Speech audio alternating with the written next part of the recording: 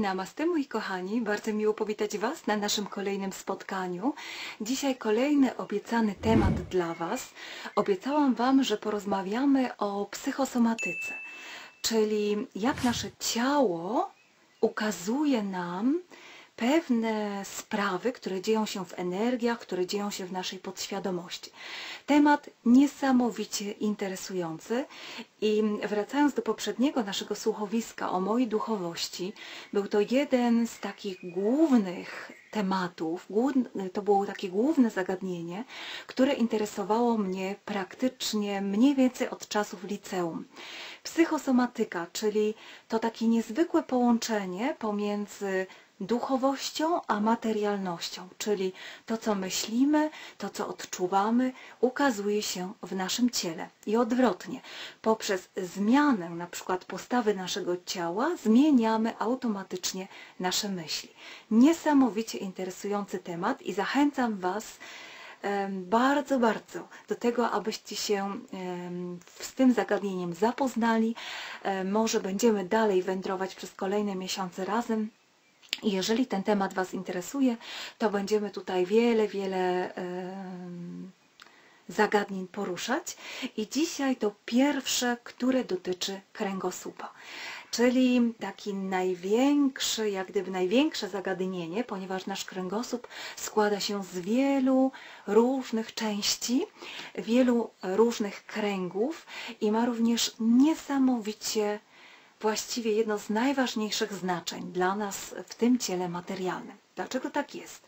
Ponieważ kręgosłup utrzymuje nas, utrzymuje naszą postawę. Jeżeli ten kręgosłup jest złamany, jeżeli ten kręgosłup jest przesunięty, to cała nasza postawa jest przekrzywiona, jest inna, nie możemy chodzić, nie możemy się poruszać.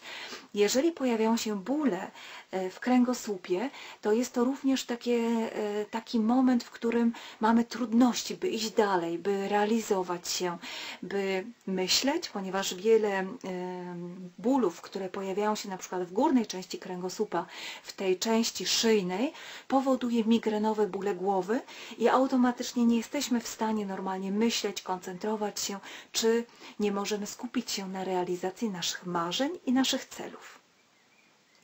Dlatego dla mnie osobiście kręgosłup jest jednym z takich najważniejszych rzeczy, e, ponieważ tutaj najczęściej również pojawiają się różne różne takie e, mniejsze czy silniejsze bóle, jakieś dziwne odczucia, pojawiają się skrzywienia czy różne zmiany tak zwane chorobowe.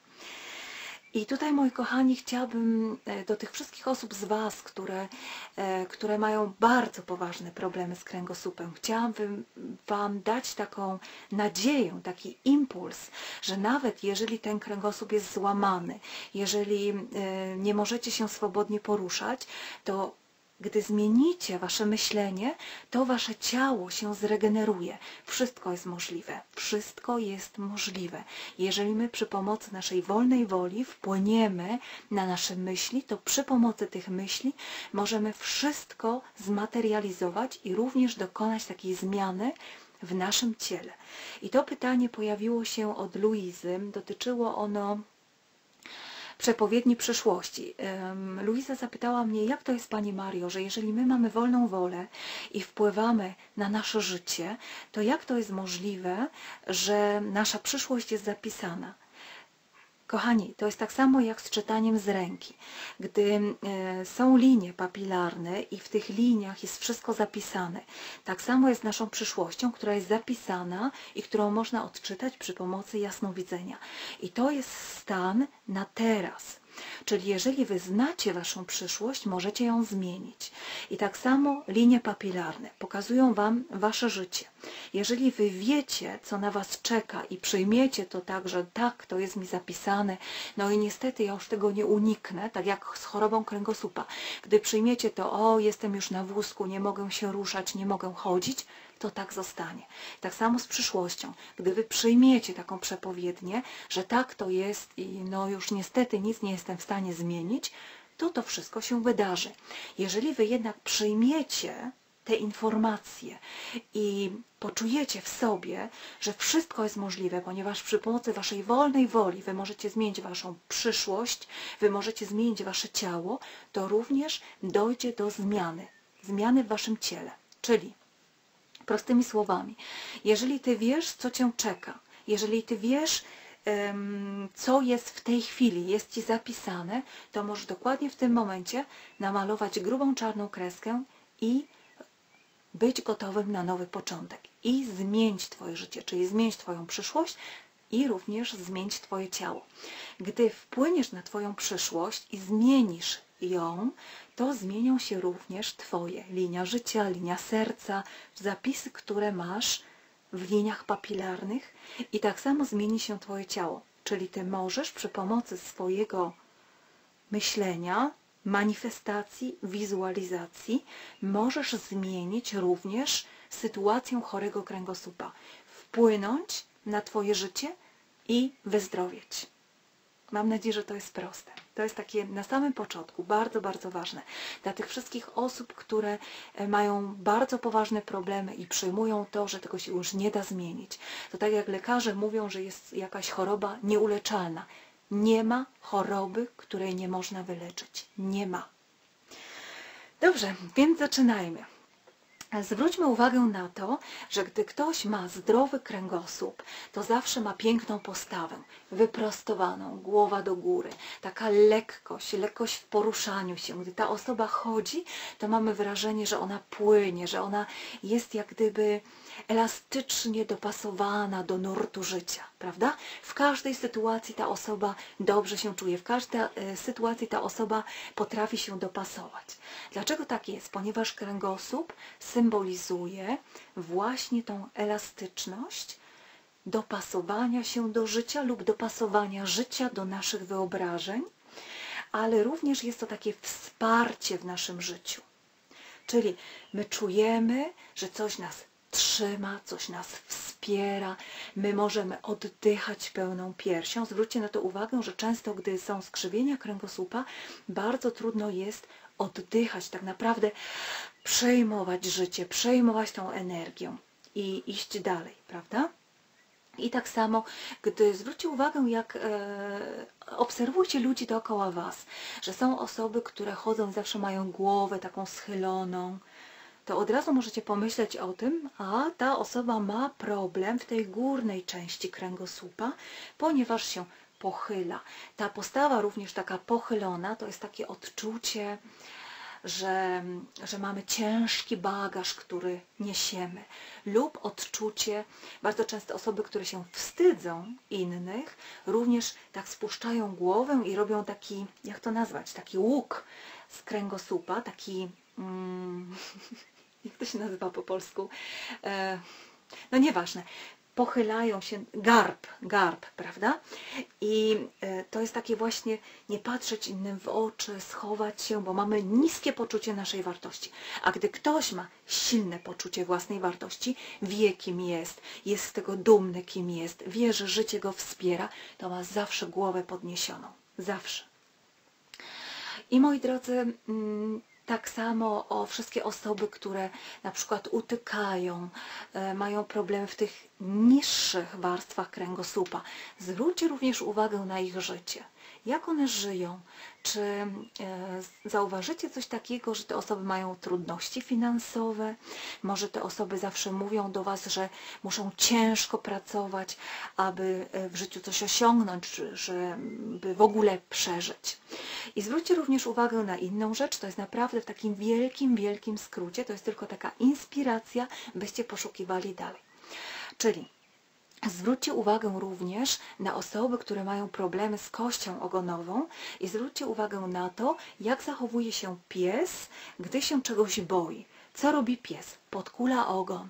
I tak samo osoby, które mają podkuloną kość ogonową, również się boją. Czegoś się boją, mają jakieś wewnętrzne obawy, podkulają ogon, czyli są również niepewne, niepewne w życiu. Oczekują jak gdyby, że coś złego się wydarzy. Prawda? Tak jak taki piesek, który się boi, że ktoś go uderzy, dlatego podkula ogon.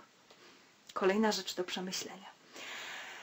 I teraz, moi drodzy, może zaczniemy hmm, od samego początku, czyli od samej góry. E, zwróćmy uwagę na to, że kręgosłup można podzielić jak gdyby na takie trzy części. Ta część górna, środkowa i dolna, prawda? I ogólnie jakiekolwiek problemy z kręgosłupem, e, to mamy pewność, że jest jakiś problem w tym, że czujemy, że życie jest trudne, że brakuje nam wsparcia w życiu, e, mamy jakieś wewnętrzne lęki lub próbujemy się na siłę czegoś trzymać, ponieważ boimy się tej zmiany. E, lub mamy taki brak wiary, wiary w siebie, wiary w, te, w to, że mm, życie jest piękne. Lub również mamy brak e, takiej odwagi bycia sobą, odwagi, brak odwagi do własnych przekonań. I to jest taka podstawa. Czyli jeżeli występuje jakiś problem w kręgosłupie, jeżeli występuje ból w kręgosłupie, jeżeli występuje skrzywienie kręgosłupa, to to jest taka pierwsza rzecz, żeby zadać sobie pytanie w to, gdzie brakuje mi wsparcia, czego się obawiam, czego próbuję się na siłę trzymać, ponieważ się boję mm, tego, co może nastąpić, czyli boję się jak gdyby o przyszłość, e, gdzie brakuje mi tej właśnie wiary w to, że życie jest piękne, że życie jest lekkie. To jest taka podstawa. I teraz zaczynamy od samej góry. Czyli jeżeli występują problemy w górnej części kręgosłupa, to zawsze jest to związane z odczuciem braku wsparcia emocjonalnego, czyli emocje, że czujemy się niekochanym, mamy problemy również w tym, by okazać innym, że kochamy te osoby. Czyli bardzo często w tej górnej części kręgosłupa bóle, takie różne mm, nieprzyjemne odczucia mają osoby, które są bardzo chłodne w, od, w uczuciach, czyli nawet do własnego dziecka, do własnej mamy, e, nie wiedzą jak okazać miłość.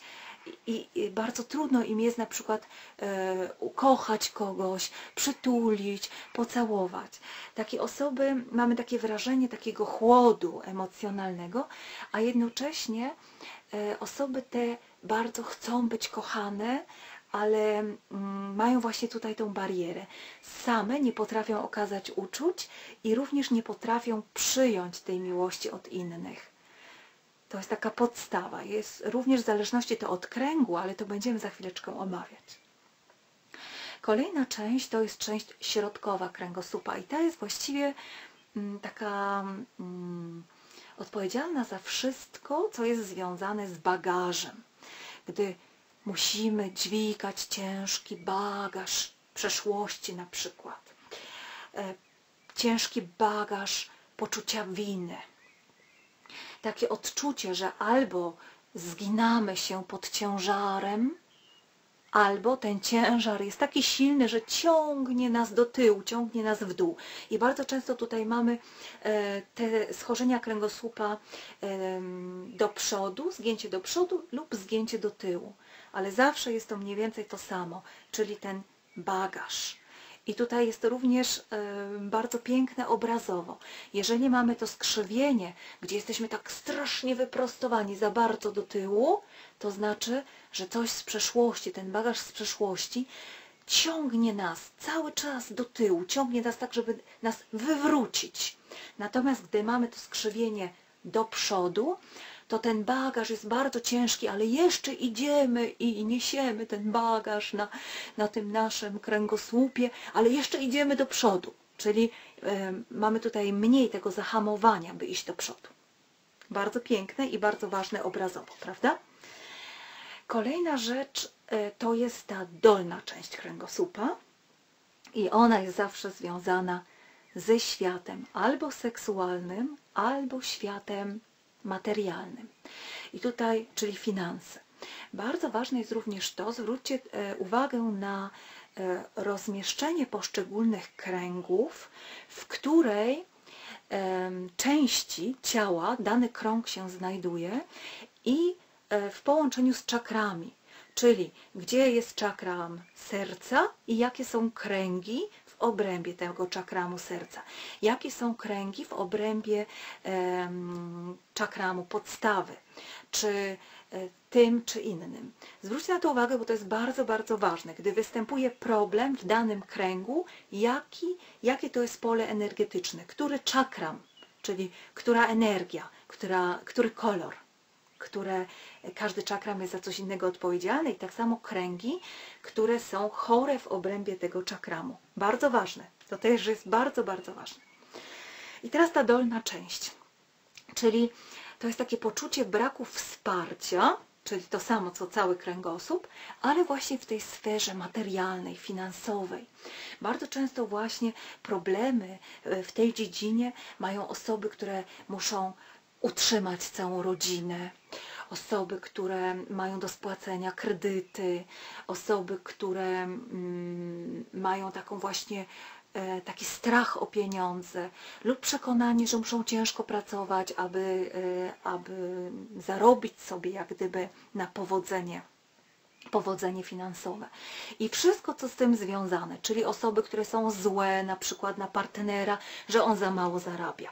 Osoby, które są złe na własne dzieci, że dzieci żyją swoim własnym życiem i nie utrzymują na przykład tej mamy czy taty na starość. Wszystkie te rzeczy są z tym związane, kochani. I tutaj taki malutki oddech i zaczniemy, przejdziemy może do poszczególnych kręgów. Ja wszystkie kręgi sobie tutaj specjalnie opisałam, żeby żadnego nie pominąć i dlatego tutaj będzie szeleszczenie papieru, ponieważ tych kręgów jest bardzo dużo i e, wyznacie mnie, gdy ja zaczynam opowiadać i opowiadać, opowiadać, bardzo często przechodzę z tematu do tematu i aby niczego nie zapomnieć, idziemy od samej góry w dół. Czyli wyznacie to jeżeli macie problem z e, policzeniem kręgu, to wyznacie to na pewno ze szkoły, e, że znaczono nam takie kreski na kręgosłupie, czyli zginało się do przodu i e, znaczono kreski i wtedy można sobie dokładnie policzyć, który krąg lub liczycie to od samego dołu, od, od liczycie po prostu od samego, od tej kości tak zwanej krzyżowej czy kości ogonowej, tu będzie troszeczkę trudniej, bo ta kość jest często u wielu osób zawinięta, ale od części tej krzyżowej liczycie sobie po kolei te kręgi w górę lub od góry, gdzie zaczyna się kręgosłup, liczycie je po prostu po kolei w dół. Rozpoczynamy, kochani, od omówienia poszczególnych kręgów, czyli od góry do dołu. Pierwszy krąg odpowiedzialny jest za jeżeli występują problemy, jakieś bóle, często bóle głowy właśnie od tych kręgów szyjnych, to należy zastanowić się, czego się obawiamy tak wewnętrznie.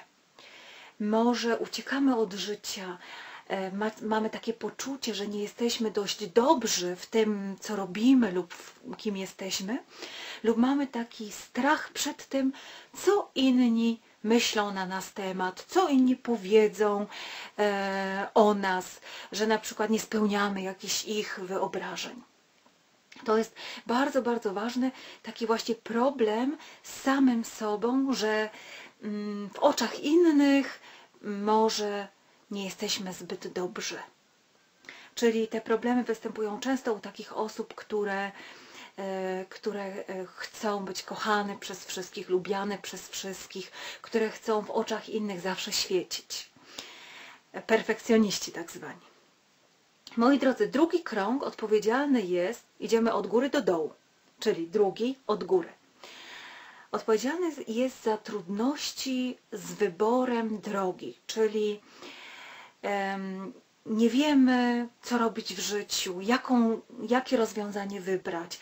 Często stoimy tak jak gdyby na takim skrzyżowaniu i zastanawiam się w prawo czy w lewo, ale jednocześnie odczuwamy również taką złość wewnętrzną mm, na życie, na dane sytuacje e, i odrzucamy duchowość, czyli bardzo często z tym drugim kręgiem mają problem osoby, które odrzucają mądrość wyższą, odrzucają boskość, ateiści na przykład, odrzucają mm, duchowość i wszystko, z tą, co z tą duchowością związane.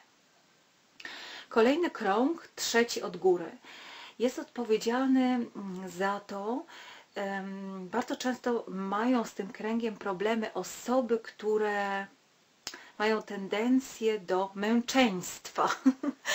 Czyli taki męczennik, który bierze na siebie wszystkie cierpienia innych, poniża siebie e, lub pozwala innym wejść sobie na głowę. Czyli takie odczucie, że nie jest się. Mm, jak, to, jak Wam to powiedzieć?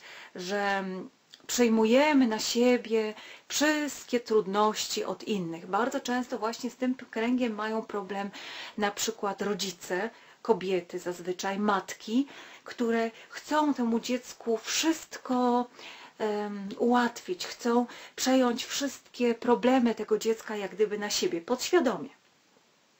Również w życiu pomagają, stale pomagają, zapominają o sobie i ciągle pomagają innym. I również od tego mogą pochodzić bóle głowy lub bóle w oczach, bóle w skroniach itd. Tak Czwarty krąg od góry mm, odpowiedzialny jest hmm, za, jeżeli są problemy z tym kręgiem, to należy zwrócić uwagę na to, co nas smuci, mamy wewnątrz siebie taką frustrację, ale na zewnątrz udajemy, że wszystko jest w porządku. Czyli już e, łzy stoją nam w oczach, a my cały czas udajemy, że wszystko jest idealnie. Czyli to e, można tak porównać do takiego powiedzenia, przywitania się Amerykanów, e, gdzie ktoś e, naprawdę już myśli o samobójstwie, a gdy go zapytamy, jak się czuje, no wszystko cudownie, idealnie i tak dalej, ale widać, że, że jest to udawane. E, czyli to nie chodzi o to, żeby mówić, o jest mi źle i tak dalej, e, tylko chodzi o to, żeby e, znaleźć przyczynę. I tutaj rozmawiamy o psychosomatyce, czyli nie rozmawiamy o tym, by pozytywnie się programować, mówić pozytywne rzeczy, bo to jest akurat pozytywne, gdy ktoś mówi, że czuje się świetnie i tak dalej. Nie pomylcie proszę Was tego tematu, że ja Was tutaj namawiam do tego, żeby mówić, że jest nam źle. Kolejny krąg to jest krąg piąty i jest odpowiedzialny za strach przed tym, że ktoś nas wyśmieje lub nas poniży. E, czyli to jest również takie, taki strach wewnętrzny przed tym, by być naprawdę sobą, lub taki strach, by. Um, pracujemy na przykład za dużo, przemęczamy się tylko i wyłącznie dlatego, by inni myśleli o nas dobrze i by nie poniżali nas, by, by nas na przykład nie wyśmiali.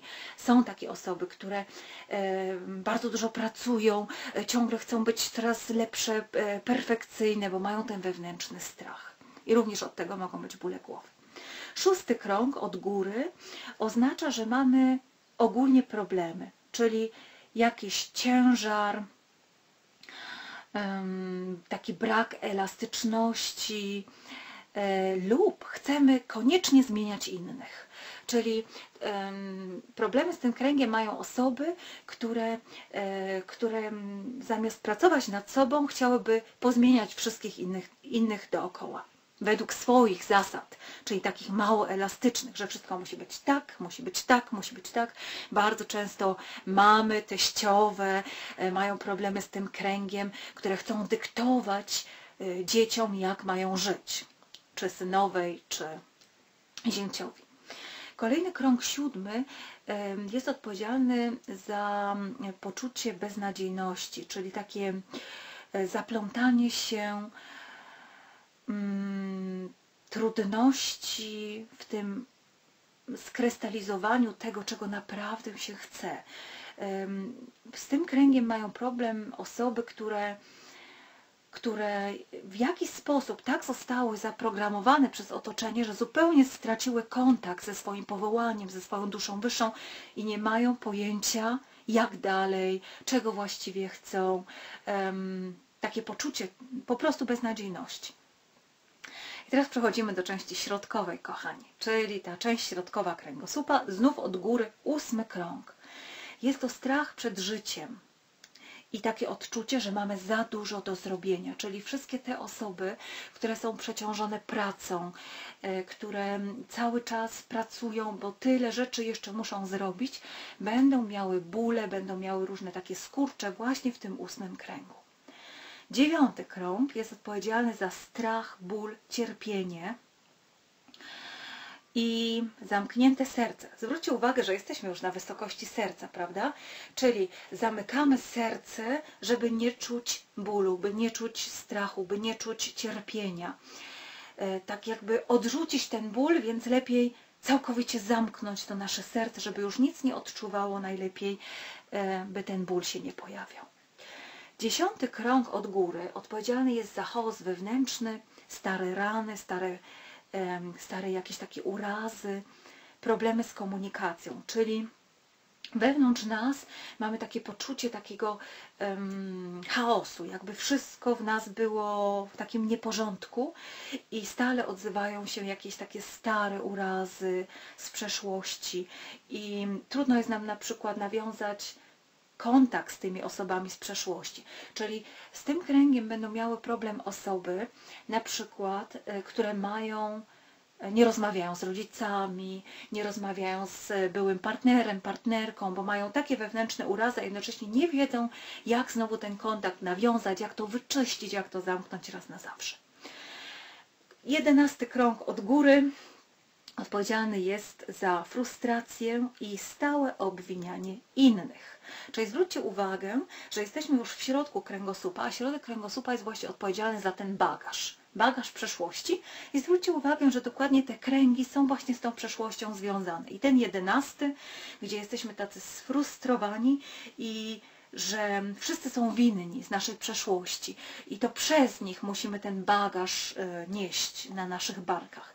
Czyli takie wewnętrzne, taka, taka wręcz złość na te osoby, że to przez nie żyjemy tak, a nie inaczej, że to przez nie musimy ciężko pracować, że to przez nie musimy mm, coś, coś robić, na co nie mamy ochoty na przykład. Dwunasty krąg od góry to właśnie jeszcze bardziej skoncentrowane tej energii, takiej wewnętrznej wręcz wściekłości na osoby z przeszłości, na sytuacje z przeszłości. I e, z tym kręgiem mają problem osoby, które mm, nie potrafią jak gdyby przepracować starych emocji czyli cały czas tylko żyją w tej wściekłości i złości na tą przeszłość, na te osoby, sytuacje i nie potrafią tego wyczyścić, przepracować. Bardzo powiązane to jest ten krąg 11, 12 i 13. I ten krąg 13 jest właśnie odpowiedzialny za taką już maksymalną złość na życie, ogólne negatywne nastawienie, negatywne emocje, blokady, ogólny strach przed przyszłością i takie stałe maltretowanie się. Czyli mm, zwróćcie uwagę, że, że mm, akurat jest ta liczba 13, którą się uważa za tą liczbę pechową. Wy wiecie dlaczego, ja już to kiedyś omawiałam. I to właśnie ten krąg 13 już jest taki maksymalny. Maksymalne takie, takie negatywne nastawienie. Tak jak na przykład jest karta w tarocie, um, która mówi o okrucieństwie i druga karta, która właśnie mówi o e, męczeństwie, czyli takie właśnie męczenie się, maltretowanie tym, co żeśmy przeżyli i, i wściekłość, złość, ogólnie złość na życie. Tak jakby to życie było winne, że, mm, że coś nam się nie powiodło, a nie my sami. Takie osoby, zazwyczaj gdy z nimi rozmawiacie, to są właśnie te wampiry energetyczne. Bardzo często mają problemy z tym trzynastym kręgiem. Czyli to są takie osoby, które ciągle opowiadają, co im się złego przytrafiło, jacy to wszyscy są źli, jakie to życie jest beznadziejne, jakie to życie jest złe i takie, takie biedne, biedne i cały czas siedzą w tym, w tym takim maltretowaniu się, obwinianiu innych i tak dalej bardzo trudne energie dotyczą bardzo często kobiet. Tak, kochani, dotyczą kobiet w takim wieku przekwitania, po menopauzie, które patrzą nagle na to swoje życie i, i, i nagle są złe na cały świat, że w tym życiu szły tak, a nie inaczej. A przecież miały w każdym momencie możliwość, by dokonać wyborów, prawda? Kolejny krąg to krąg czternasty. I to również właśnie bardzo często dotyczy kobiet, starszych kobiet, ale nie tylko. To jest takie wewnętrzne odrzucenie radości, odrzucenie rozkoszy i e, takie siedzenie w bólu, czyli zbieranie jak gdyby tego bólu w sobie. I takie są, to są takie osoby, które zauważycie, e, gdy dwoje ludzi się kocha i na przykład się całuje na ulicy i, i nagle z, y, tak kątem oka dostrzeżecie taką starszą panią, która z taką złością patrzy na to, że, że wy się kochacie, że, że wy się radujecie, że wy, wy macie tą wewnętrzną radość czy rozkosz. I gdyby ta osoba mogła, to zaraz by wam wbiła nóż w plecy, bo ona ma takie wewnętrzne przekonanie, że, że życie jest smutne, e, taki brak brak spełnienia, brak rozkoszy. To są również osoby, które Zauważycie, że ciągle mówią o tym, że coś jest za drogie, to jest za drogie, to jest za drogie, a tu oszczędziłam to, tutaj coś tam y, oszczędziłem tamto i a to jest marnotrawstwo, to jest wyrzucanie pieniędzy w błoto i tak dalej, i tak dalej. Wszystko, co związane jest z radością, będzie zaraz takie znegowane. Okej, okay.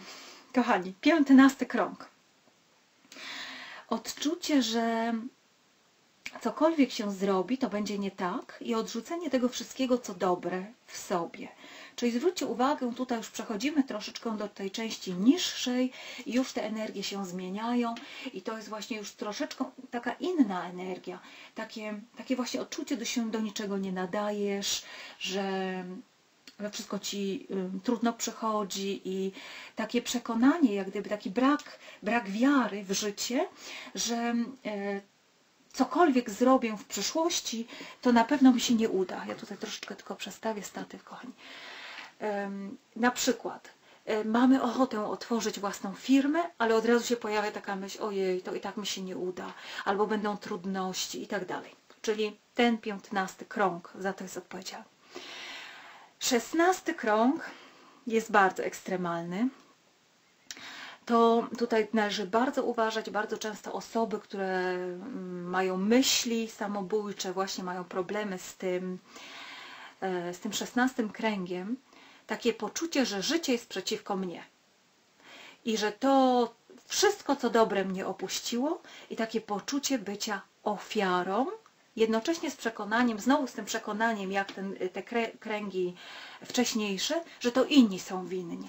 Czyli um, wszystko co złe, wszystko jest przeciwko mnie, um, nie ma nic dobrego, wszystko jest um, niedobre i jestem ofiarą, e, taką biedną ofiarą i najlepiej wszystkim będę o tym opowiadać, jaką to jestem biedną ofiarą, żeby ukraść im energię, bo i tak wszyscy inni są winni tej sytuacji, w której jestem. Kochani, 17 krąg odpowiedzialny jest za właśnie za odpowiedzialność, czyli mm, że również takie poczucie, że jest się wieczną ofiarą i to wszystko, co mnie spotyka, to jest winny ktoś inny.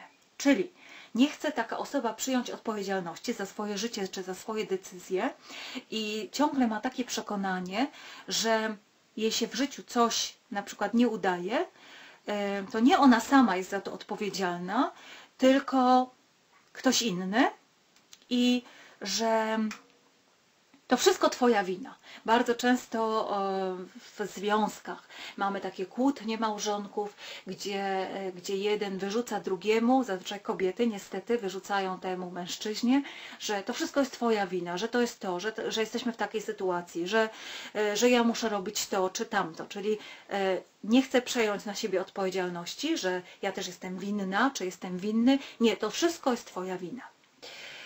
Osiemnasty krąg, kochani, to jest już, mm, przechodzimy, widzicie, coraz niżej i mamy ten strach przed miłością. Zwróćcie uwagę, e, w jakim czakramie w tej chwili jesteśmy. Czyli już przechodzimy do tych niższych czakramów. To jest taki strach przed związkiem, aby, ale nawet przed, przed przyjaźnią, z takim e, maksymalny strach. Dlaczego? Ponieważ mamy kompleksy mamy poczucie niskiej wartości. Czyli z jednej strony cały czas myślimy, że jesteśmy mało warci, że jesteśmy zbyt brzydcy, nie dość dobrzy i tak dalej. I przez to pojawia się właśnie ten strach, ten strach przed związkiem, przed miłością, przed, um, przed jakimś takim bliższym spotkaniem z inną osobą. I kochani, dziewiętnasty krąg, ostatni w tej części, którą nazywamy częścią środkową, to jest poczucie, że, hmm, że nie ma się prawa żyć. Bardzo, bardzo przykre, znowu związane z ludźmi, którzy mają tendencje samobójcze i to jest taki strach, obawa przed wszystkim, co dobre, przed miłością, e, problemy w ogóle, w ogóle ze zrozumieniem, zaakceptowaniem, E, czegoś, czyli takie ogólne, bardzo negatywna postawa, że dlaczego ja tu w ogóle jestem i, i, i tak nie zasługuję na miłość, i tak nie zasługuję na dobro, prawda? Takie rzeczy. I teraz przechodzimy do tej ostatniej części, czyli części dolnej. Pamiętacie, ona była związana z tą materialnością. Zwróćcie uwagę również na czakramy jakie czakry tutaj w tej chwili mamy. I e, ta dolna część jest związana właśnie z finansami i tak dalej. Ale już o tym mówiłam. Czyli krąg 20 od góry to jest potrzeba miłości z jednoczesnym takim poczuciem, że chce się być jednak e, samemu. Czyli taka niepewność, takie można nawet powiedzieć rozdwojenie, że z jednej strony chcę być kochaną, kochanym, a z drugiej strony, a może nie, jednak mm, lepiej jest mi samemu. Na ten, w tym obszarze problemy mają najczęściej osoby, które e, są samotne, właśnie z takiego niezdecydowania, czyli może jednak tak, a może jednak nie. Kolejny krąg, 21, to jest właśnie mm, taki problem emocjonalny wyniesiony najczęściej z dzieciństwa. Są to rany z dzieciństwa, E, gdy osoba nie widzi wyjścia z aktualnej sytuacji.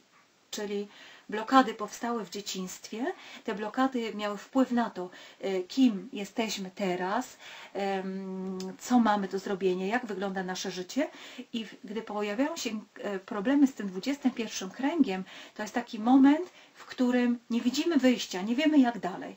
Brakuje nam tego wsparcia w tym świecie materialnym i nie mamy pojęcia, jak to ruszyć do przodu. Krok 22 to nienawiść do samego siebie. Czyli e, ta nienawiść do samego siebie, która prawie w 99% e, bazuje na doświadczeniach znów z dzieciństwa i doświadczeniach e, poprzez molestowanie seksualne. Czyli jest to takie wewnętrzne poczucie winy, które powstało poprzez molestowanie seksualne i które właśnie objawia się w tej nienawiści do własnego ciała, nienawiści do, do wszystkiego, a przede wszystkim do siebie i również odrzucenie własnego ciała. To wszystko z tym jest związane. 23 krąg, kochani, to również związany, zwróćcie uwagę, seksualność, cały czas dzieciństwo, te podstawy, materialność.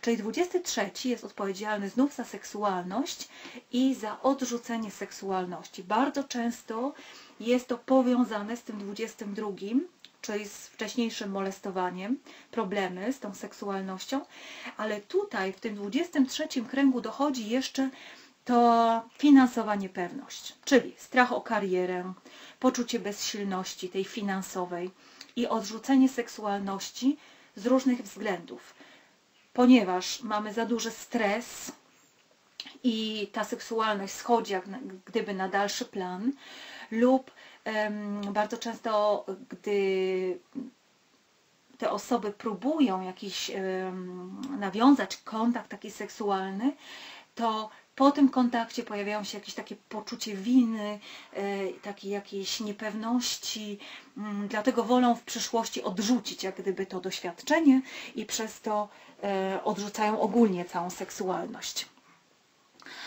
I e, moi kochani, to jest tak również związane z tym prawem rezonansu, przyciągania, czyli przed czego się obawiamy, to oczywiście takie doświadczenia znowu przyciągniemy. Czyli jeżeli ktoś odrzuca seksualność, ponieważ boi się jakiegoś tam zranienia, boi się e, tego czy tamtego, to można mieć stuprocentową pewność, że jeżeli tego nie przepracuje, nie popracuje nad tym pozytywnie, energetycznie, to co się stanie? Przyciągnie kolejne doświadczenie, które w 100% odpowiada tym wewnętrznym przekonaniom, czyli znowu zdarzy się coś negatywnego.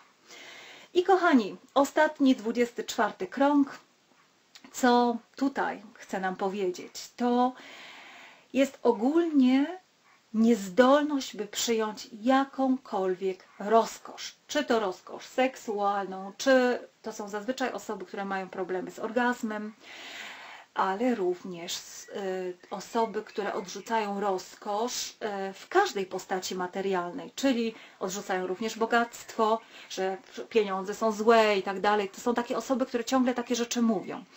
E, osoby, które odrzucają na przykład pozytywne, piękne rzeczy, jak sztukę, odrzucają dobre jedzenie, zdrowe jedzenie, zawsze z tym takim wewnętrzną, taką złością, niezdolnością, by tą rozkosz przyjąć. Czyli nawet jeżeli coś pięknego spadnie im z nieba, na przykład bardzo często mamy tutaj taką sytuację wygranej w totolotka, że gdy taka osoba wygra w totolotka, to ona i tak nie jest w stanie przyjąć rozkosz tej wygranej i ona bardzo szybko te pieniążki straci to są właśnie zazwyczaj te osoby, którym ja muszę odmawiać, gdy proszą mnie o e, pomoc, e, magię rytualną, rytuały na finanse, a ja wchodzę e, w tym pierwszym momencie, gdy sprawdzam daną osobę, sprawdzam energię, czy jestem w ogóle w stanie tę energię poruszyć dla tej osoby i co się stanie, gdy, gdy ja tę energię dla niej aktywuję i gdy ja wtedy widzę, jaka jest ta osoba, jakie ona ma nastawienie, to zawsze muszę jej odmówić, bo to jest po prostu takie wyrzucenie energii w błoto. Przeciągnięcie wygranej na przykład, a ta osoba i tak to zmarnuje. Czyli to, mm, to jest też niezgodne z etyką mojej pracy. Ja staram się robić wszystko tylko to, w czym widzę wyższy sens i w czym widzę, że jest to warte. Czyli tak jak magia miłosna, połączenie tylko i wyłącznie osób, które są dla siebie przeznaczone, które się kochają, a na przykład tylko zła energia zniszczyła związek. E, rytuały finansowe tylko dla osób, które wiem, że one na to zasługują i że gdy one te pieniążki otrzymają, to również będą w stanie się nimi rozkoszować, będą w stanie je pomnażać, a nie stracą. I kochani, jeszcze co nam zostaje? Pozostaje nam jeszcze kość krzyżowa. I gdy tutaj jest problem, bardzo często te osoby, które mają korzonki, to się tak mówi, korzonki, które nie potrafią chodzić przez kilka dni, bo mają takie straszne bóle i tak dalej. O co tutaj chodzi? Kochani, bardzo, bardzo ciekawa rzecz. Zwróćcie uwagę, kto na korzonki choruje i na przykład e, w którym momencie, ponieważ ta kość krzyżowa jest odpowiedzialna za utratę władzy i siły. Czyli e, to jest coś takiego, gdy jesteśmy, mm, gdy jesteśmy taką osobą, która chce wszystko kontrolować, na przykład we własnym życiu i nagle coś się wydarzy, że my czujemy, że tracimy władzę nad tym życiem. Czyli bardzo często zdarzają się jakieś przypadki losu, które nie były przez nas zaplanowane, nie były przez nas w jakiś sposób um, tak, no, nie chcemy ich przyjąć i, i nagle coś takiego się dzieje i my mamy takie odczucie, ojej, nie kontroluję wszystkiego, nie kontroluję mojego życia, nie kontroluję tego, y, co się wydarzyło. I w tym momencie zaczyna się ból właśnie w tej kości krzyżowej i również e, wszelkie stare złości, takie ukryta złość na coś. E, zazwyczaj właśnie z, tym, e, z tą utratą władzy. I na takie korzonki, zwróćcie uwagę, również bardzo często chorują teściowe, które na przykład chcą kierować życiem swojego syna czy córki, ale syn i córka są już w związku i na przykład ten syn czy córka tak bardzo mm, może niedyplomatycznie powie mamusiu nie wtrącaj się, mamusiu to nie jest twoja sprawa, to jest nasze życie. I w tym momencie w bardzo krótkim czasie ta teściowa choruje na korzonki. To jest bardzo ciekawe, prawda? I ostatnia rzecz, kość ogonowa. Bardzo często zakrzywiona, bardzo często są tutaj problemy w tej kości ogonowej i, i, wiele osób myśli, że ma na przykład problemy z jelitami, czy z, z macicą, czy z układem tam wewnętrzny, jajniki i tak dalej, a to po prostu jest kość ogonowa, która uciska na różne nerwy. Bardzo często mamy również takie, e, takie odczucie, że trudno nam się chodzi lub na przykład, że wydaje nam się, że mamy hemoroidy jakieś wewnętrzne, czyli jakieś e, żylaki na przykład e, odbytu, a w rzeczywistości jest to po prostu kość ogonowa, która daje o sobie znać. I co ona oznacza, kochani? Oznacza ona, że gdy nas boli, że mamy jakiś brak harmonii wewnętrznej, wyrzuty względem samego siebie, coś sobie wyrzucamy, z czegoś jesteśmy niezadowoleni i jesteśmy źli na samych siebie, że na przykład coś zrobiliśmy, czy coś myśleliśmy, ale również siedzenie na starym bólu i trzymanie się kurczowo tych starych ran. Czyli bardzo często osoby, które przeżyły bardzo ciężkie jakieś rzeczy w życiu i nie potrafią się od tego odciąć, nie potrafią się od tego uwolnić, mają wyrzuty sumienia, wyrzuty również względem samego siebie, że to się zdarzyło, e, mają właśnie takie, takie problemy z tą kością ogonową i często może to być połączone z rakiem, ponieważ rak to jest właśnie takie poczucie winy, poczucie urazy, długotrwałej urazy. I zwróćcie uwagę, dokładnie ta kość ogonowa jest bardzo, bardzo z tym związana. Kochani, i na tym dzisiaj kończę nasze spotkanie. Mam nadzieję, że temat Was zainteresował. Napiszcie w komentarzach.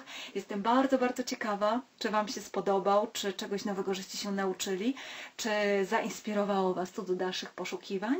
I zapraszam na nasze kolejne spotkania. Wasza Maria Bukarti.